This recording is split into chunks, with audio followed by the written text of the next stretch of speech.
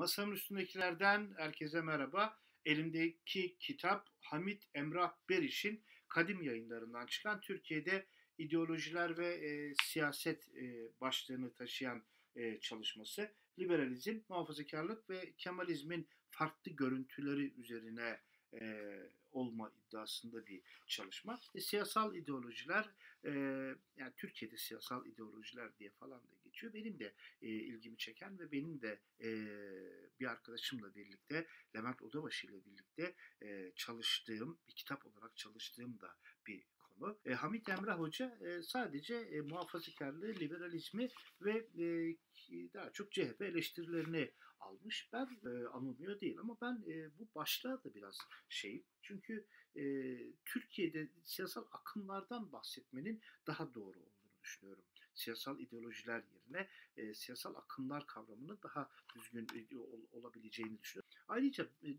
e, kitap sadece e, işte e, CHP liberalizm ve muhafazakarlık üstüne e, yer alıyor. Türkiye'de siyasal akımlar dediğimizde e, feminizm, Türkiye'de kadın hareketi yok, LGBT hareketi yok, Türkiye'de yeşil hareket yok, e, Alevi hareketi yok, İslamcı hareket yok.